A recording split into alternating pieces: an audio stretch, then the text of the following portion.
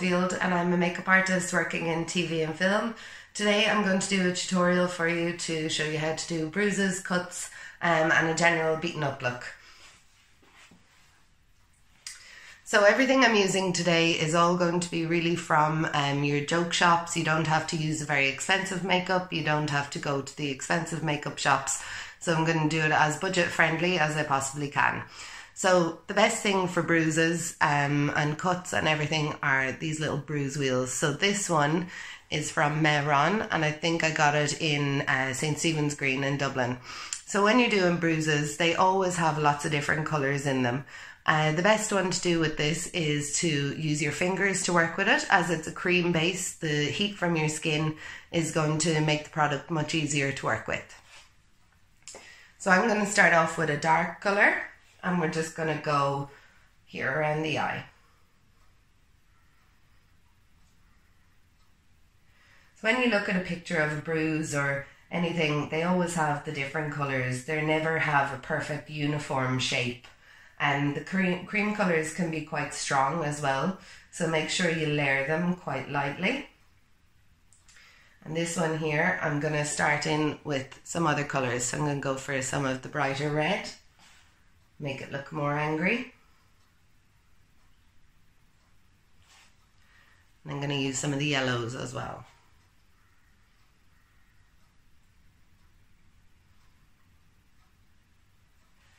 So as you do this, you can decide where uh, on your victim that they've um, received their injuries or where they might have their, their marks and their bruises. So we're definitely going to do a black eye.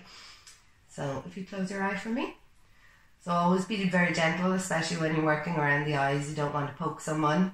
Um, so here we're going to do lots of bruising on the eye. And go with quite a strong colour here. And you're always going to blend out your edges because when you see bruising on anyone, it always disappears into the skin. I'm going to put more onto the eyelid as well. I'm going in with the darker colour now. So a good trick when you're using the bruise wheels is to use a different finger for each colour. So you always keep a clean finger as well so you can blend easily.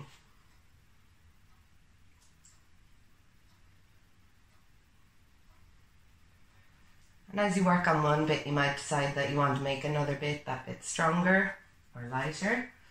So I'm going to go in with the black here. Again, just tiny little bits.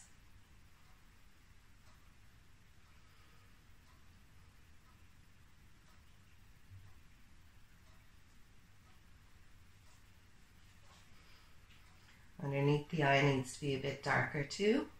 And always bring it right into the very inside corner here because that makes your injury look that bit much angrier, more angry.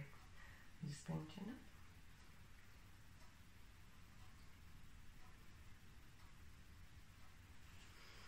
I'm going to just move this chair in a tiny bit and start to see a little better. So she doesn't look great now anyway. But yeah, we're only getting started. So I think we're going to do black eye on the other side as well. Again, in with your red first.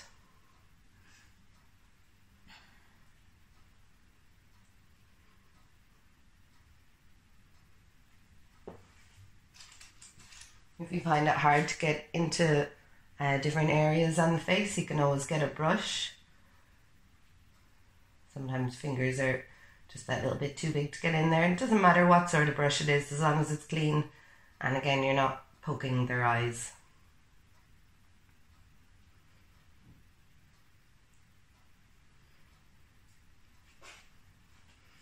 So you can darken up certain points so I'm going to go in with this little darker one here again.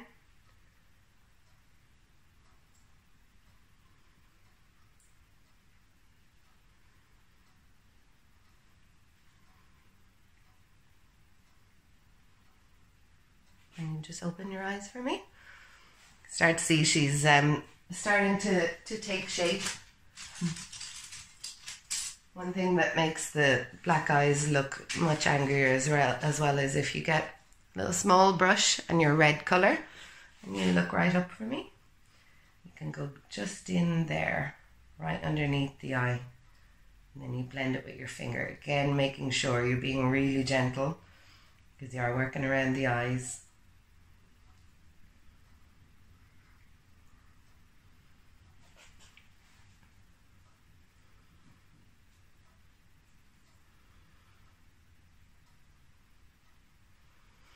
Obviously making sure you have plenty of baby wipes on hand to get all this off afterwards as well.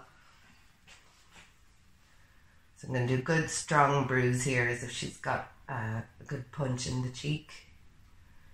I'm start with our much darker colour. I'm going to bring in our yellow.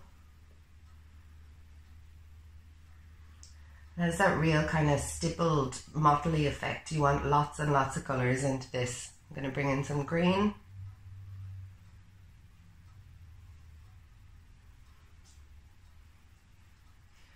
And all bruises have different ages as well. So a bruise will look completely different today than it does tomorrow or it did yesterday.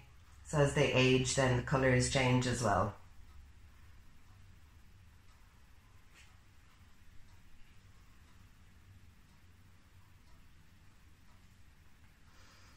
Again, making sure that all your edges are disappearing. I'm Gonna go in with some more red.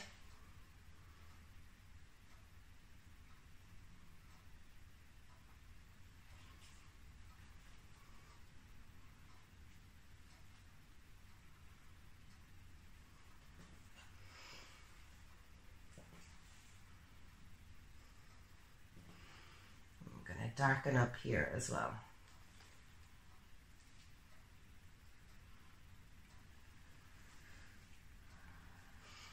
So there's lots of things you can do with wax and with bits of blood and things like that to make the injuries look much more angry. So this one is one of my favourite tools for uh, cuts and grazes and scars. It's a stipple sponge, but you don't have to buy the exact proper ones. You can always get like your little kitchen sponge that um, you can find any supermarket or anywhere like that has the same kind of wiry effect. So you'll still be able to get that grazed effect that you'd have otherwise. So with the blood, it doesn't really matter what type you're going to go for. I'm just going to go for one out of my kit. Uh, a lot of these, they don't wash out of clothes or anything like that. So make sure whatever you're wearing, um, you don't mind if you get little bits on it or else, you know, use a towel or something like that. So with the grazed sponges, you do literally graze the skin you turned slightly there. So it makes it look much more angry. And these will all dry as well.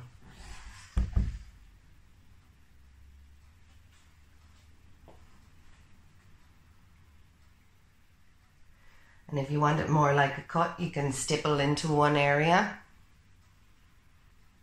and build up your colour.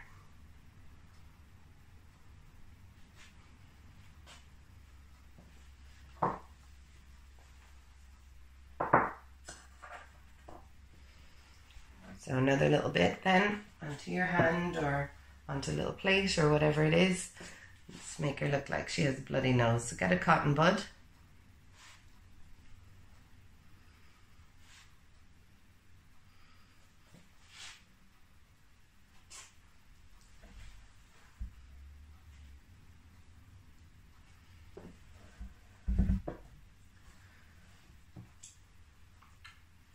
one other thing I'm going to do here, you can get wound fillers, again in all the joke shops. Uh, Kryolan is a great brand, even in the joke shops, they do all the proper uh, wounds and the fillers and things like that. So also, you could also get away with any sort of raspberry jam, blackberry jam, anything like that from the kitchen. It'll do the same job. Uh, this is just the, the one that I would usually use. So It's good to make it look like there's a proper cut there. So again, you just get your cotton bud and put whatever sort of shape you like.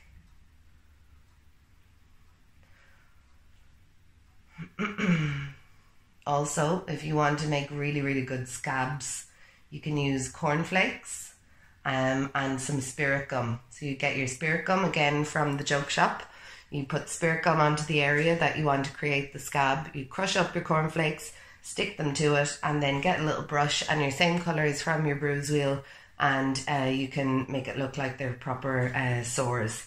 And you can do them then any size at all. You can do cuts all over the place if you want. That's what makes you happy.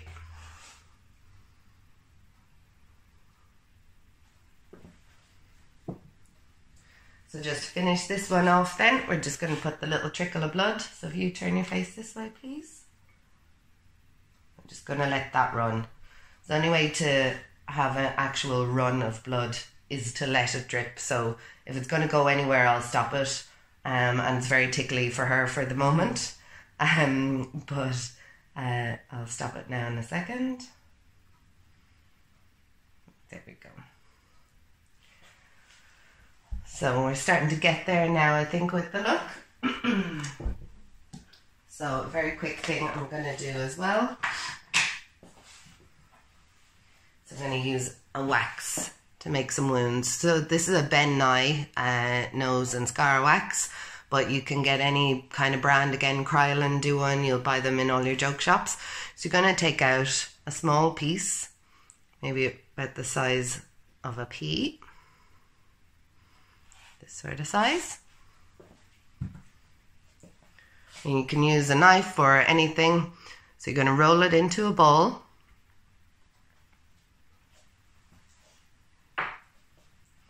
And then you're going to press it on to wherever. So if you wanted to do just boils or lumps in the skin, you can just press this onto the skin and then you blend it out. So for this, I'm going to give her just as if she has a small break in her nose. So the wax gets very sticky also. So you need to work quite quickly with it.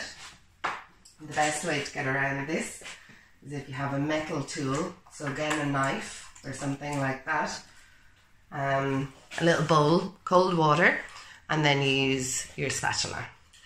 So if you try to blend this with your fingers, it's going to get completely stuck. It's going to come back off. It's going to uh, just go everywhere. So what you want to do is just stick down your edges.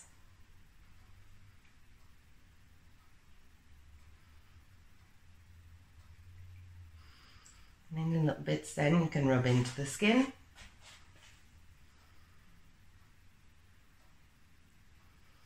So you can use this same wax if you want to make big cuts or uh, any real any injuries really.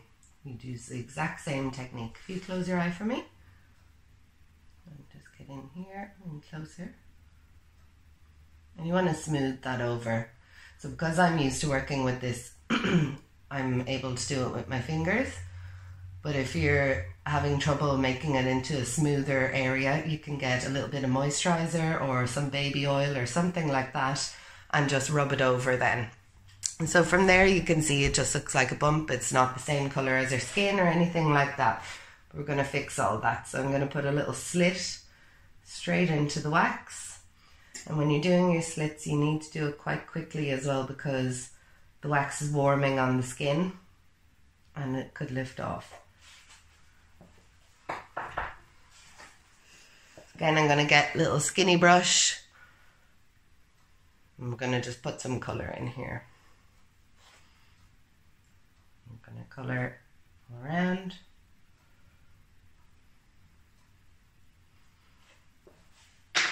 And I'm going to use our fingers again, colour the wax.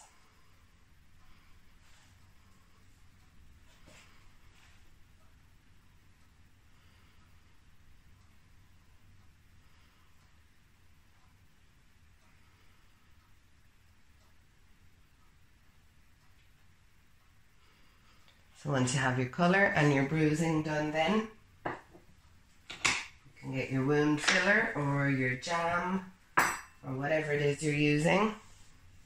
Take a little piece onto a cotton bud. You're going to get that into the slit you've just made.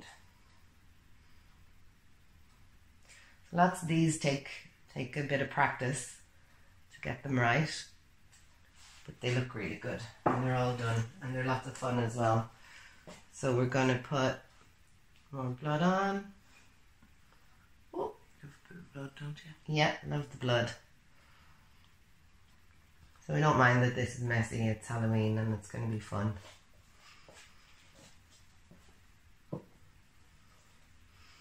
So you can see she has her wax piece here.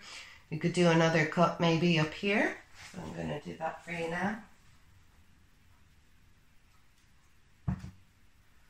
Going to take a bigger piece this time.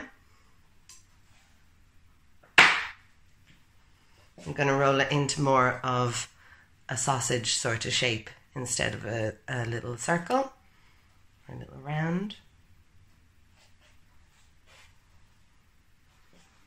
I'm going to go here. So make sure you don't get this stuck in hair or anything. It doesn't really come out very well. Whoever you're doing this on might not be too happy. So again, you're going to get your metal tool your cold water. You're going to stick down your edges.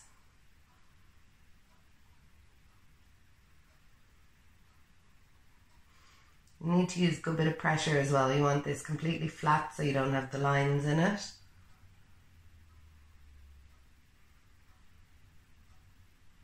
Also you want to stay on as well, so.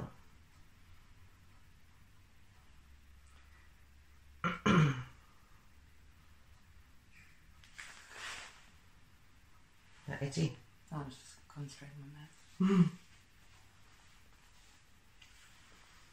So once you have your wax all smoothed out, you can see your area that you'll do the cut. So I'm going to just wet my spatula again because I don't want it to get stuck. and we're going to do our slit through this. So you can pull the edges back a little bit, make it look like it's a much more open sort of wound. And then you're going to colour. So to cut this size, you'd always have lots of inflammation around the outside. Um, you'd have again your different colours of bruising. It depends how old the wound is as to uh, what colours you would go for. But for me, we're going to go for like it's fresh today. So again, just getting my brush, get into the sides here.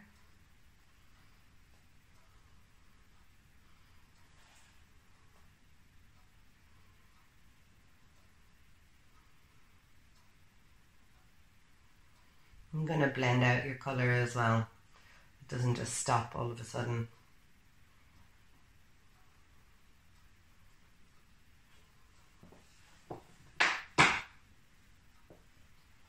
I'm going to get your wound filler or your jam. I'm just going to go right into the incision that you've made.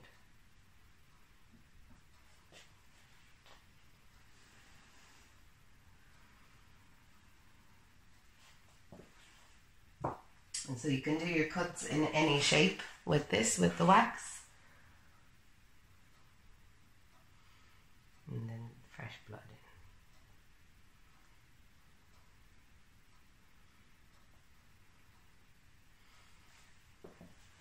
in. So that's your uh, cuts and bruises look. Hope you enjoyed it. Thanks for watching and don't forget to subscribe.